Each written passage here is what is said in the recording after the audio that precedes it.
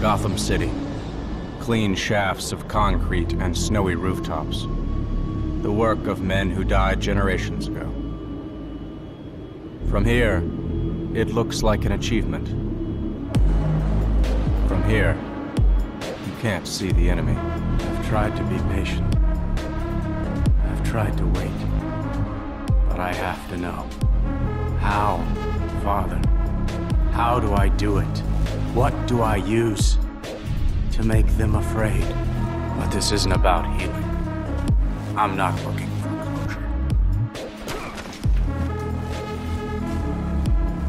I'm not ready.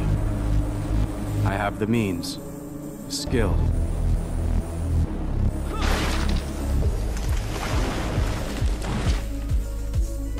Something's missing.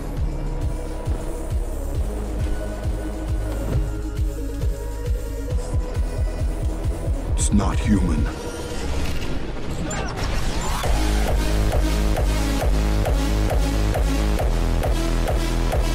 was in the process of single-handedly apprehending the felons. Came out of the night sky, wings 30 feet across.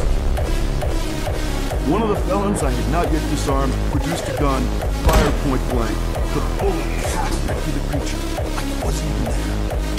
there. Something from its hand, little dark things, paralyzed it. Except me. Anger does not change the fact that your father failed to act. Today, an outsider takes our test of honor to see if he is worthy of our training. Out of pity, we let him eat with us, drink with us, train with us. And now we shall see if he is truly one of us. The stone is indomitable, but it is just a thing.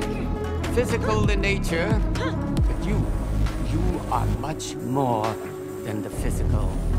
Every day you will hit the stone.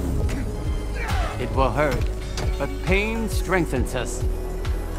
It will burn, but fire cleanses the soul.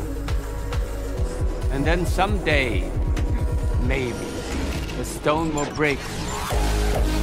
But the journey will make your spirit as indomitable as that stone. Breathe in your fears, face them. To conquer fear, you must become fear. You must bask in the fear of other men.